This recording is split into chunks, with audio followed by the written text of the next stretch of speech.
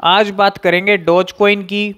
तो crypto currency market में dose coin की रैंकिंग जो आती है, वो आप सबको पता है कि एट नंबर पे आता है। और पिछले सात दिन की अगर मैं इसमें देखूँ तो सिक्सटीन परसेंट तक नीचे आया पिछले सात दिन में, और पाँच परसेंट तक चौबीस घंटे में नीचे आ गया है। तो ये डोज कोइन में इतना डाउनफॉल क्यों देखा जा रहा है, और कब तक ये डोज कोइन खुद को संभालता है? कब तक जो वन डॉलर का लेवल है, उसको हिट करता है? या फिफ्टी सिक्सटी रुपीज़ पे कब तक आता है? जो आज से कुछ टाइम पहले था फिफ्टी फिफ्टी प्लस था, और अभी ये कोइन कुछ टाइम पहले अठारह या उन्नीस रुपये पे स्टेबल था, लेकिन अब ये और भी कम हो गया एक बार डोज कोइन की बात कर लेते हैं। और आज कुछ न्यूज़ भी है डोज कोइन को लेके, उसको भी कवर करेंगे। तो डोज कोइन का अगर हम बात करें तो 5.8 परसेंट नीचे चल रहा है पिछले 24 घंटे में। और यहाँ पे इसकी अगर हम मार्केट कैप की बात करें ट्रेडिंग वॉल्यूम में भी 0.68 परसेंट की जो डाउनफॉल है वो देखने को मिल रही है। साथ के साथ मार्केट कैप में भी 5.8 percent fully diluted market cap यहाँ पे 13 परसेंट तक ऊपर जाते दिख रहा है हमें। और साथ के साथ आप ये सब चीज़ें देख सकते हो।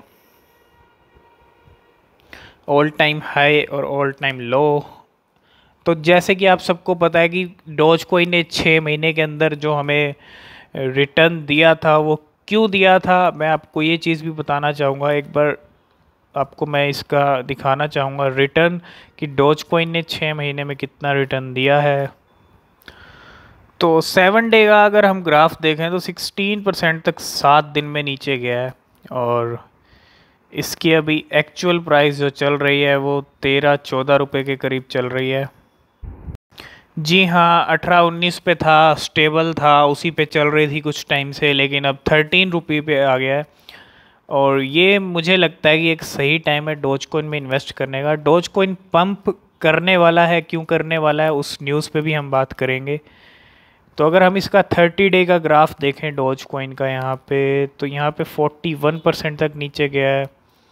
नाइन्टी डे का ग्राफ देखें यहाँ पे तो ये फोर्टी टू परसेंट है। और वन ईयर में आपको पता ही है वन ईयर में इसने क्या कमाल किया है, ठीक है। इस किसी से छुपा नहीं है। और अगर ऑल पे क्लिक करें तो आपको ऑल का भी पता चल जाएगा। जैसे कि मैं बोल रहा था, तकरीबन तकरीबन सत्ताईस हज़ार परसेंट। और ये डॉज कोइन सिर्फ़ एक रीज़न से ऊपर गया था, एक ही रीज़न था, वो थे इलॉन मस्क। जी हाँ इलॉन मस्क ने जो लगातार ट्वीट्स किए थे उस टाइम पे, उसी टाइम पे हमें डोज कोइन की कीमत में इतना अप देखने को मिला था। और डोज कोइन ने जो लेवल्स दिखाए थे, वो कहीं ना कहीं इलॉन मस्क का हाथ था उसके पीछे। एक करेंसी मीम करेंसी का लगातार सपोर्ट करना इलॉन मस्क की तरफ़ से तो डोज कोइन ने वैसे लेवल दिखाए फिर। अब डोज कोइन की कहीं ना कहीं प्राइस डाउन होती दिख रही है। और अब एक बार फिर एक इलॉन मस्क जो है, उनका इवेंट होने वाला है जैक डोरसी और इलॉन मस्क मैं एक बार वो न्यूज़ दिखाना चाहूँगा आपको। तो मेन इवेंट होने वाला है इलॉन मस्क और Jack Dorsey agree to have the talk at upcoming bitcoin event ये इवेंट इतना स्पेशल क्यों होने वाला है? मैं आपको बता देता हूँ कि इस इवेंट में एक तो इलॉन मस्क बात करने वाले हैं। सबसे बड़ी बात तो यही है इलोन मस्क और इलॉन मस्क उस इवेंट में इवेंट के बाद या डोज कोइन पे और भी ज़्यादा खुल के बात कर सकते हैं। और अगर ऐसा होता है उस इवेंट में तो कहीं ना कहीं मुझे लगता है कि डोज कोइन में पंप देखने को मिलेगा। और ये सही टाइम है, अगर डोज कोइन की प्राइस अभी डाउन है, और भी डाउन है, जितनी भी डाउन है तो उसमें इन्वेस्ट करने का सही टाइम है। और अगर 21 जुलाई को कुछ डोज कोइन के ऊपर बात होती है, कुछ बड़ी अनाउंसमेंट निकल के आती है, क्योंकि डोज कोइन का साथ इलॉन मस्क हमेशा हैं। इलॉन मस्क का सपोर्ट डोज कोइन के साथ रहा है। और अगर इस इवेंट में वो और भी खुल के बात करते हैं डोज कोइन के बारे में तो डोज कोइन के जो लेवल्स हैं, वो देखने को एक बार फिर मिल सकते हैं। ठीक है? तो जैक डोरजी और इलॉन मस्क 21 जुलाई 21 जुलाई को ये इवेंट होने वाला है। और क्या कुछ खास इस इवेंट में रहेगा? किस किस कॉइन को लेके ज़्यादा बात होती है? क्या क्या निकल के आता है क्रिप्टो करेंसी के फ्यूचर के बारे में? तो ये सब चीज़ें, एक कहते हैं ना कि इलॉन मस्क अगर एक ट्वीट भी कर देते हैं तो प्राइस अप हो जाते हैं। अगर वो खुल के बात करेंगे इस इवेंट में तो आप खुद इमेजिन करो कि डोज कोइन में पंप देखने को हमें मिल सकता है।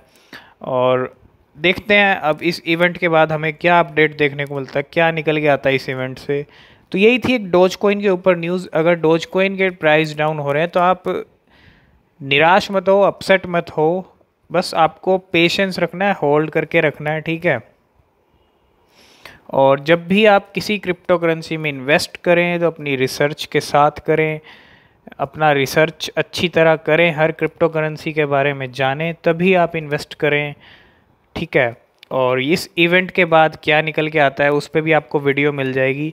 तो चैनल को सब्सक्राइब करके बेल आइकन प्रेस ज़रूर कर लेना और देखते हैं इलॉन मस्क की बाई क्यूर क्यूरियोसिटी क्या निकाल के लेके आती है इस इवेंट के बाद।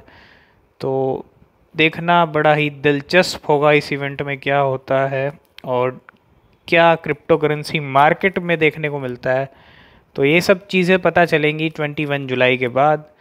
वीडियो को लाइक शेयर करना और चैनल को सब्सक्राइब करके बेल आइकन प्रेस ज़रूर कर लेना।